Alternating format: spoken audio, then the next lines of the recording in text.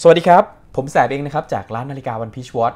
วันนี้นะ จะมาแนะนำวิธีการตั้งเวลาครับสำหรับนาฬิการุ่นนี้เลย G ขีด001 BB ขีด1 DR ตัวนี้นะครับต้องบอกว่าเป็นอีกรุ่นหนึ่งที่ได้รับความนิยมสูงมาก แล้วก็มีฉายาด้วย นาฬิการุ่นนี้นะครับมีฉายาว่าเจ้าเจสันที่มีฉายาว่าเจสันก็เพราะว่านะครับด้านล่างเนี่ยนะครับมันจะเป็น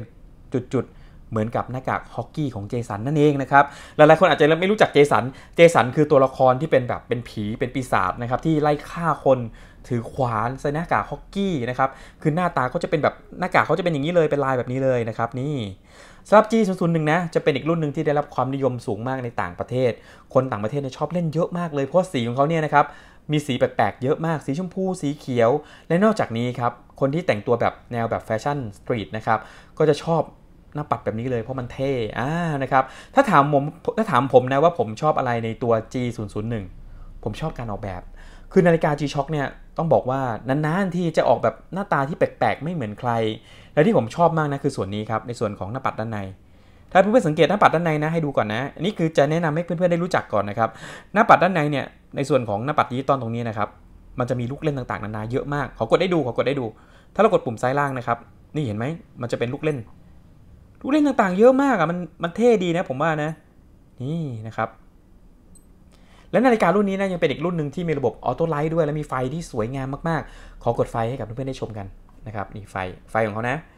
จะเป็นไฟหน้าปัดสีเขียวนะครับ เต็มหน้าปัดนี่นี่คือความเท่ของเขา นอกจากนี้ครับนาฬิการุ่นนี้นะครับก็ยังมาพร้อมกับพื้นฐานของนาฬิกา G-Shock ที่ครบเลย ก็คือสามารถที่จะจับเวลาได้ สามารถตั้งปลุกได้ สามารถ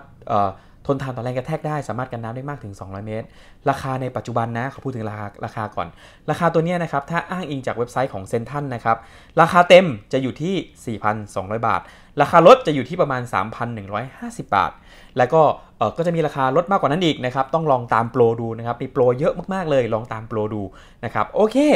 เอาละก็ได้ รีวิวแบบสั้นๆให้กับเพื่อนๆได้รู้จักแล้วนะสำหรับนาฬิการุ่นนี้นะครับคราวนี้เรามาถึงวิธีการตั้งเวลามั่งว่าตั้งยังไงนะครับคือต้องบอกว่าช่วงนี้จะทำในส่วนของการตั้งเวลาให้เยอะหน่อยเพราะว่ามีหลายคนถามเข้ามาเยอะมากๆนะครับแล้วก็ช่วงนี้รู้สึกว่า G-Shock ได้รับความนิยมกลับมาได้รับความนิยมอีกแล้วนะครับแล้วก็แต่ละตัวเนี่ยบางรุ่นเนี่ยอย่างรุ่นเนี่ยก็จะตั้งเวลาไม่เหมือนกับรุ่นอื่นอ่าอันนี้ต้องบอกเลยตั้งเวลาไม่ไม่เหมือนกับรุ่นอื่นเลยต้องเออแนะนำให้ให้กับเพื่อนๆได้รู้นะครับเอาล่ะมาดูวิธีการตั้งเวลากัน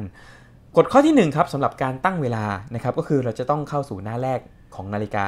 ที่เราจะตั้งก่อนเสมอทุกครั้งครับสำหรับ Casio ทุกๆตัวเลยนะครับสำหรับรุ่นนี้นะครับหน้าแรกของนาฬิกาเนี่ยข้างบนจะเขียนอย่างนี้ครับนี่วันในสัปดาห์นี่นะครับคือ G-Shock เนี่ยจะตั้งเหมือนกันหมด คือวันในสัปดาห์เนี่ยจะอยู่ในหน้าแรกเห็นไหมฮะนี่ครับแล้วถ้าสมมติว่าเพื่อนๆไม่รู้ว่าเราอยู่หน้าไหนนะให้กดปุ่มซ้ายล่างไปเรื่อยๆครับให้ขึ้นคำว่า HT นะครับ HT นะครับ HT อะดูกัน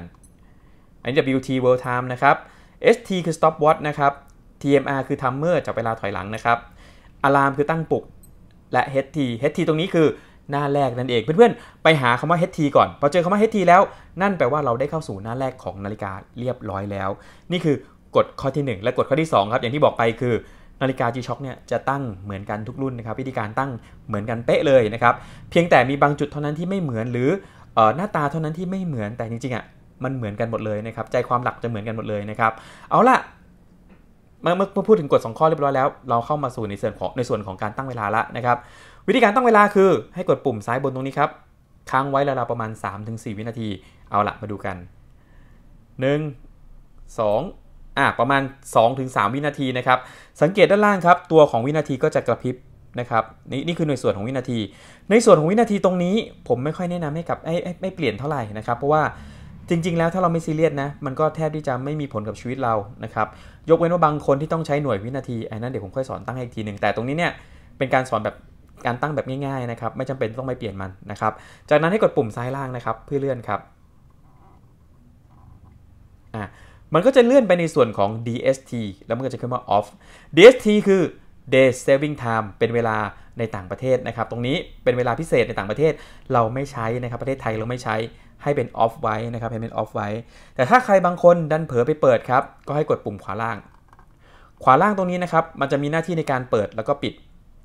นี่เห็นไหมฮะ เปิดแล้วก็ปิด สังเกตเวลาครับ พอเราเปิดเนี่ย เวลาจะเร็วขึ้น 1 ชั่วโมง แต่ถ้าเราปิดครับ เวลามันจะเป็นเวลาปกติ อ่า นะครับ ตรงนี้สำคัญมาก จากนั้นครับให้กดปุ่มซ้ายล่างเพื่อเลื่อนครับ ตรงนี้แหละที่ผมอยากจะบอกเพื่อนๆว่ามันไม่เหมือนกับนาฬิการุ่นอื่น ตรงนี้คือเวลา UTC ครับ เวลาสากลเชิงพิกัดตรงนี้นะครับ ตรงนี้สำคัญมาก ตรงนี้เนี่ยไม่ใช่ว่าเราจะตั้งเลขอะไรก็ได้นะ ขอย้ำว่าไม่ใช่ว่าเราจะตั้งเลขอะไรก็ได้ ผมมีเอกสารมาให้กับเพื่อนๆได้ดูด้วยว่าทำไมนะครับ เอาล่ะมาดูเอกสารกันก่อนนะครับ จริงๆ ก็อยากจะทำเป็นคลิปในเอเป็นเป็นแบบเป็นภาพในคลิปแหละ แต่ผมกลัวว่าเพื่อนๆจะดูไม่ชัดนะครับ เอาล่ะมาดูเอกสารกันนี่ เอกสารนะครับนี่ตารางเวลา ให้ดูนะครับ เดี๋ยวขอซูมนิดขอโฟกัสนิดนึงเพื่อนๆได้เห็นชัดเจนนะ นี่วันนี้ปริ้นไม่เป็นอย่างนี้เลยนี่ครับ เมื่อกี้ UTC นะครับก็คือตรงนี้นะนี่นะคำย่อ UTC นะครับ นี่ภาษาอังกฤษนะครับ นี่ เวลาสากลเชิงพิกัดนะครับ มันจะมีคำว่าเครื่องหมายบวกและลบ ตรงนี้เนี่ย เมื่อเรากดบวกหรือลบในส่วนของเวลาเนี่ยมันจะเปลี่ยนไปตามพิกัดเวลาของโลกนะครับอย่างประเทศอย่างประเทศอื่นๆให้ดูประเทศอื่นก่อนนี่มันจะเป็นลบ12ลบ11นะครับให้ดูนะครับ ประเทศไทยจะต้องเป็นเวลานี้ครับนี่ วันนี้ปิ้นมาเลยให้เพื่อนๆได้เห็นชัดๆเลยนี่ ประเทศไทยนะครับจะต้องเป็น UTC บวก7นะครับนี่มีลาวไทยกัมพูชาเวียดนาม อินโดนีเซียรัสเซีย แล้วก็มองโกเลียนะครับนี่ UTC บวก7นะครับจำไว้นะ UTC บวก7คราวนี้กลับมาดูที่นาฬิกากัน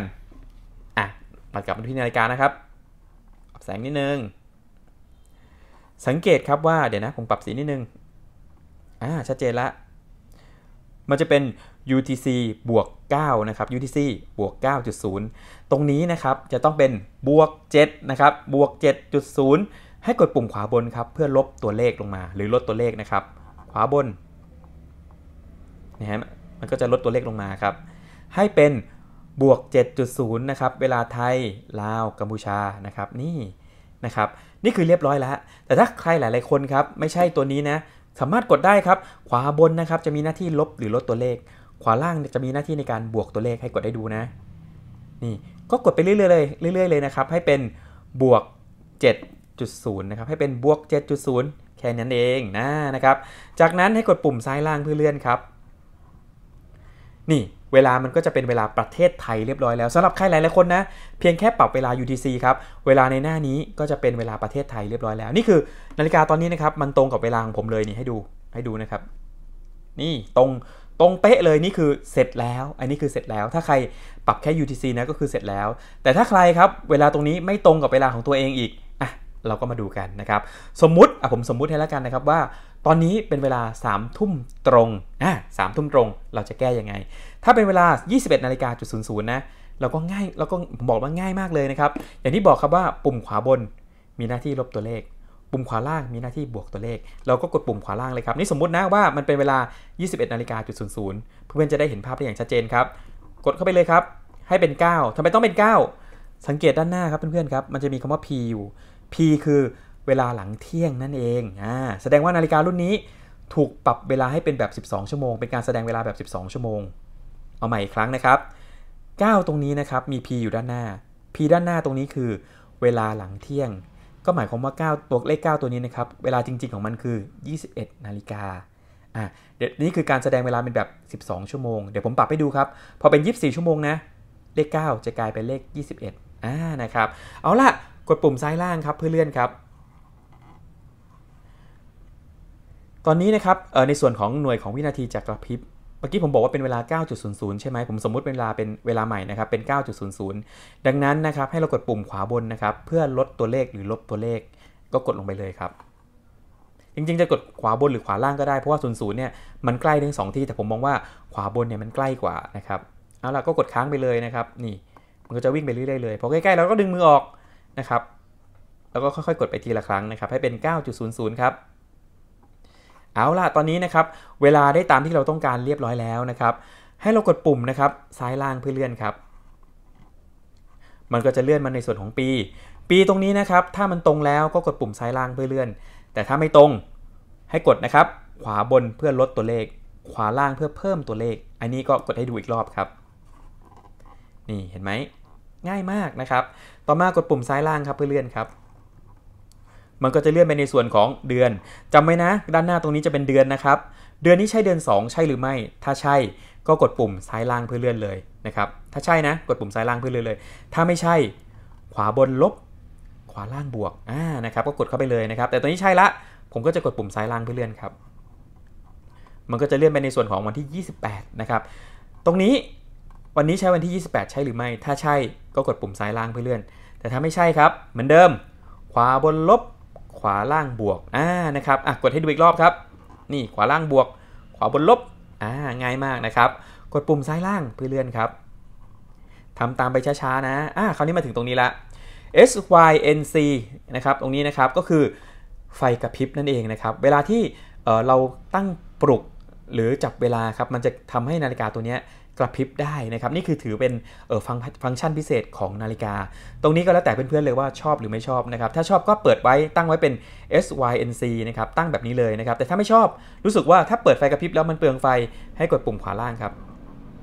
นี่คือปิดไม่มีไฟกระพริบล้วนะครับแต่ผมเนี่ยชอบไฟกระพริบมากเลยผมว่ามันเท่ดีนะครับอ้าว ก็เปิดเอาไว้นี่ครับ เปิดอย่างนี้ไปนะ เดี๋ยวผมทำให้ดูด้วยว่ามันเป็นแบบไหนนะครับ นี่เพื่อนๆจะได้ดูกันนะครับ จากนั้นให้กดปุ่ม อุ้ย เห็นไหม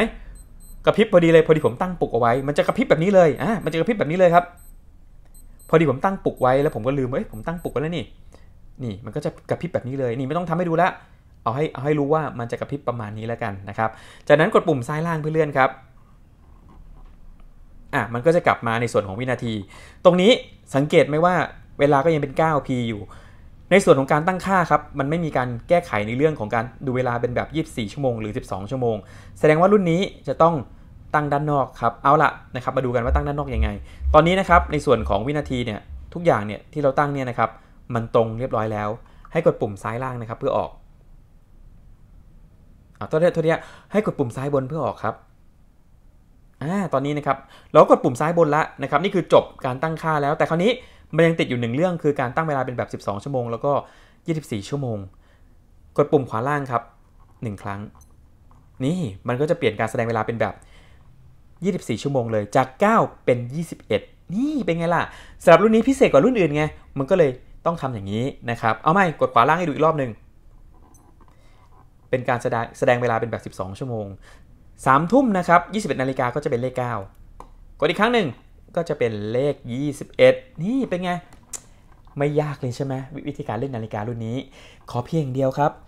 ดูไปช้าๆนะ แล้วก็ค่อยๆทำไม่ยากไม่ยากนะนะครับ โอเค วันนี้ก็สอนวิธีการตั้งเวลาไว้เท่านี้แล้วกันครับ แล้วก็อย่างที่บอกครับว่าเมื่อกี้ตอนที่มันขึ้นซิงแล้วมันมีไฟกระพริบนั่นฮะคือฟังก์ชันพิเศษของเขานั่นเองนะครับสำหรับ G001 โอเค วันนี้ก็ขอสอนไว้เท่านี้ก่อนแล้วกันนะครับ ขอแนะนำไว้เท่านี้ก่อน เดี๋ยวช่วงนี้จะทำคลิปการตั้งเวลาไว้เยอะๆเลย พราะผมพบว่าหลาย ๆ คนเนี่ยเเล่นไม่เป็นทำไม่ได้เดี๋ยวผมแนะนำให้ไม่เป็นไรนะครับ ถ้ามีคำถามใดๆก็สามารถตั้งไว้ใต้สามารถใส่ไว้ใต้คลิปได้ แล้วเดี๋ยวถ้าผมมาอ่านแล้วผมจะตอบให้นะครับ แล้วก็อยากจะให้ทำนาฬิการุ่นไหน สอนวิธีการใช้งานรุ่นไหน ก็